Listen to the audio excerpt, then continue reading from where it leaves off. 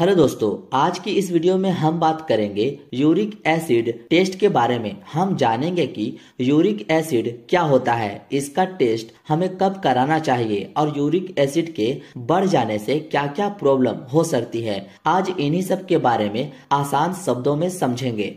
देखिए दोस्तों, uric acid test से हम यह जान सकते हैं कि हमारे ब्लड, यानी खून में यूरिक एसिड का अमाउंट कितना है। और यूरिक एसिड एक वेस्ट मटेरियल होता है, जो कि हमारे बॉडी में प्यूरिन्स के ब्रेक डाउन यानी टूटने से बनता है। अब जान लेते हैं कि प्यूरिन्स हमारे बॉडी में कैसे बनता है। आप सोच रहे होंगे कि यह प्यूरिन्स हमारे बॉडी में आता कहाँ से है? तो जैसा कि यह हमारे बॉडी में प्यूरिन से बनता है तो तो यह प्यूरिन्स क्या होते हैं? तो आपको बता दूँ प्यूरिन्स एक केमिकल कंपाउंड होता है, जो कि हमारी बॉडी में न्यूक्लिक एसिड के ब्रेकडाउन से बनता है, यानी कि न्यूक्लिक एसिड के टूटने से बनता है।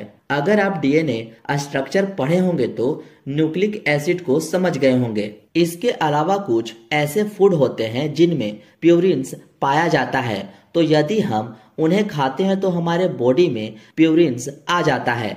देन ये प्यूरिन्स हमारे लीवर में जाता है और एडनोसिन और ग्वानिन में टूट जाता है। इसके बाद यह यूरिक एसिड में कन्वर्ट हो जाता है। देखिए यूरिक एसिड एक वेस्ट मटेरियल होता है जो कि हमारे बॉडी के लिए ज़रूरी नहीं होता है। इसलिए इसे हमारे शरीर से निकालना ज़रूरी है। यूरिक एसिड में कन्वर्ट होने के बाद यह हमारी किडनी में जाता है और किडनी हमारी इसे यूरिन, यानी कि पेशाब के ज़रिए बॉडी से बाहर निकाल देती है। तो यह इसका पूरा पाथवे होता है। तो इस तरह आप समझ सकते हैं कि यूरिक एसिड कैसे बनता है और कैसे शरीर के बाहर निकाल दिया जाता है, क्योंकि यूरिक एसिड एक वेस्ट मटेरियल होता है जो हमारे बॉडी के लिए ज़रूरी नहीं है।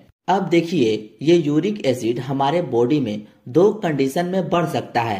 पहला there is too much production of uric acid या तो हमारे बॉडी में यह ज़्यादा बन रहा हो, या फिर दूसरी कंडीशन में यह हो सकता है कि the body is unable to get rid of excess uric acid या फिर हमारी बॉडी या किडनी इसे हमारे शरीर से बाहर ना निकाल पा रही हो तो भी इसका लेवल हमारे ब्लड में बढ़ जाता है। उम्मीद है दोस्तों, इतना आप समझ गए होंगे यूरिक एसिड के बारे में। अब जान लेते हैं कि हमें यूरिक एसिड का टेस्ट कब कब कराना चाहिए। डॉक्टर हमें कब यह टेस्ट करवाने को कहते हैं? तो पहला हेल्प डायग्नोस गाउट यानी कि किसी को गाउट की प्रॉब्लम होती है या फिर उसे गठिया होता है, उसका डायग्नोस करने के लिए, उस गठिया को पता लगाने के लिए यूरिक एसिड का टेस्ट कराया जाता है। दूसरी चेक फॉर किडनी स्टोन यदि किसी को दोस्तों किडनी स्टोन होते हैं या फिर उसके गुर्दे में पथरी होती है तो उसका पता लगाने के लिए भी यूरिक एसिड का टेस्ट कराया जाता है।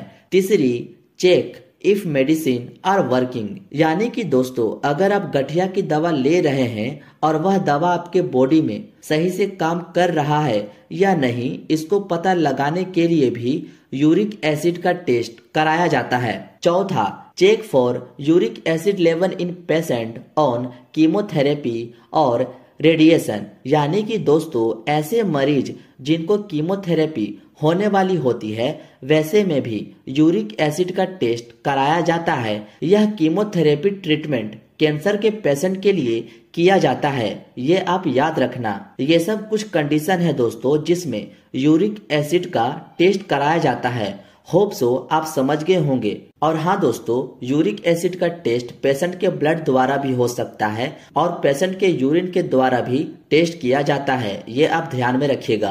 अब दोस्तों, हमें ये भी जानना ज़रूरी है कि हमारे ब्लड में यूरिन एसिड की नॉर्मल वैल्यू आखिर कितना होता है। नॉर्मल वैल्यू अगर आपको पता होगी तो आप किसी का भी रिपोर्ट देखकर जान सकते हैं कि किसी व्यक्ति को यूरिक एसिड की प्रॉब्लम है भी या नहीं। तो चलिए देखते हैं। तो देखिए मेल में इसकी नॉर्मल वैल्यू की बात की जाए तो वो है 3.4 से लेकर 7.0 माइक्रोग्राम पर डीएल होता है। वहीं फीमेल में इसकी वैल्यू 2.4 से लेकर 6.0 माइक्रोग्राम पर डीएल होती है। और आपको ध्यान रहे कि यह वैल्यू हल्का फुल्का चेंज दिखा सकता है अलग अलग लैब की जांचों में। इसलिए आपको टेंशन नहीं लेना है कि किसी में कुछ तो किसी और में कुछ क्यों। अब आप इसका स्क्रीनशॉट ले लीजिए। और हाँ दोस्तों, जैसा कि आप इस रिपोर्ट को देख रहे हैं, यहाँ पर यूरिक एसिड का वैल्यू दिखा रहा है कि पेशेंट में इतना यूरिक एसिड है। अब आप कमेंट करके बताओ कि यह नॉर्मल है या बढ़ा हुआ है।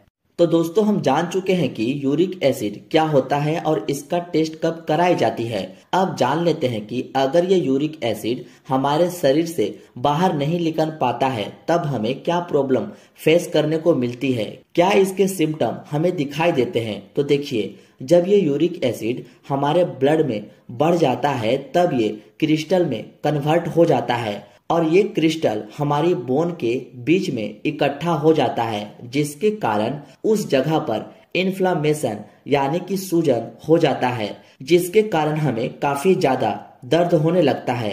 इसी कंडीशन को दोस्तों हम गाउट यानी कि गठिया के नाम से जानते हैं। और हाँ दोस्तों, आपको ये भी जानना ज़रूरी है कि गठिया की पहचान क्या होती है, या फिर यह हमारे बॉडी में किस हिस्से से होना शुरू होता है। तो देखिए दोस्तों 90 परसेंट चांस होते हैं कि यह हमारे पैर के अंगूठे से स्टार्ट होता है और इसके अलावा हमारे बॉडी के अन्य पार्ट से भी शुरू हो सकता है। जैसा कि आप ये सब देख सकते हैं और समझ सकते हैं। यहाँ पर मैं आपको कुछ पिक्चर भी दिखा रहा हूँ, जिससे आप इस गाउट की पहचान भी कर सकते हैं। जैसा कि आप इस पिक्चर को देखकर समझ सकते हैं कि इसके बिग टॉय में गाउट यानी कि गठिया हो चुका है, जिसके कारण इन्फ्लामेशन देखने को मिल रही है और इसके उंगलियों में भी गठिया हो गया है, जैसा कि आप देख सकते हैं।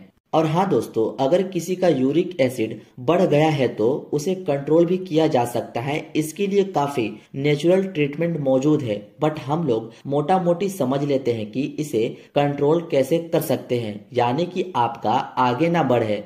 तो नंबर वन एडजस्ट डाइट यानी कि आपको ऐसी भोजन खानी है जिसमें प्यूरिन की मात्रा ना हो। तो प्यूरिन किसमें पाए जाते हैं और किसमें नहीं, ये सब चीज़ें आपको नेट पर इजीली मिल जाएगी। नंबर दो लिमिट अल्कोहल यदि आप अल्कोहल पीते हैं, दारू पीते हैं तो आपको अल्कोहल बंद कर देना चाहिए, क्योंकि अल्कोहल हमारे बॉडी को डिहाइड्रेट कर देता है, जिसके कारण गाउट की समस्या बढ़ने के चांस बढ़ जाते हैं। Number three keep your body hydrate rate यानी कि आपको ज़्यादा से ज़्यादा पानी पीना चाहिए, क्योंकि आप जितना पानी पिएँगे आपके ब्लड में यूरिक एसिड जमा होने के चांस उतना ही कम हो जाएँगे। तो ये कुछ टिप्स हैं दोस्तों, जो आपको ध्यान में रखनी होती है। इसके आगे का ट्रीटमेंट आपके गाउट के कंडीशन के अनुसार डॉक्टर दवा चलाते हैं। इसलिए गठिया हो जाने पर आप तुरंत अपने डॉक्टर से मिले। पर मैं कुछ मेडिसिन के बारे में बता देता हूँ, ताकि आपको आइडिया रहे कि गठिया होने पर कौन कौन सी मेडिसिन चलाई जाती है? पहला जो दवा है, उसका नाम है फेबू अस्टेट फोर्टी, जिसका कॉम्पोजिशन फेबुक्सो अस्टेट होता है। यह दवा दोस्तों, हमारे बॉडी में यूरिक एसिड के फॉर्मेशन यानी कि यूरिक एसिड को बनने से रोकता है, ताकि यूरिक एसिड की मात्रा और ज़्यादा हमारे बॉडी में ना बन पाए। इसको एक टैबलेट पर डे लेना होता है। और हाँ दोस्तों, अगर फेबू अस्टेट टैबलेट खाने पर भी यूरिक एसिड ब्लॉक नहीं होता है तो इस टैबलेट को रोककर इसकी जगह एलोप्यूरिनोल टैबलेट देते हैं। इसका भी वही काम होता है यूरिक एसिड के फॉर्मेशन को रोकने का, जो कि जाइलिक के नाम से आपको मार्केट में मिल जाती है। इसको दो से तीन टैबलेट दिन भर में दिया जाता है। नेक्स्ट जो टैबलेट है दोस्तों, वो है बेंसिड टैबलेट जिसका कॉम्पोजिशन प्रो बेंसिड टैबलेट होता है। इसका उपयोग दोस्तों हमारे बॉडी से एक्स्ट्रा यूरिक एसिड को रिमूव करने के काम में लिया जाता है, जिसको एक टैबलेट दिन में एक बार दिया जाता है।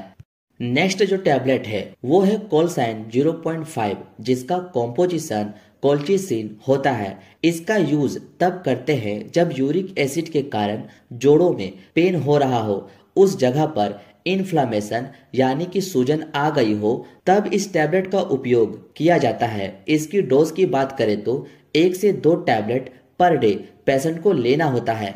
ये सब के अलावा दोस्तों, दर्द में राहत के लिए कुछ पेन किलर भी यूज़ किया जाता है, जैसे इबोप्रोफेन दोस्तों, मैं काफ़ी सरल तरीके से आपको गाउट से रिलेटेड यूरिक एसिड से रिलेटेड डाउट इस वीडियो में क्लियर करने की कोशिश किया हूँ। उम्मीद है आपको यह जानकारी पसंद आई हो। मिलते हैं अब आपसे नेक्स्ट वीडियो में।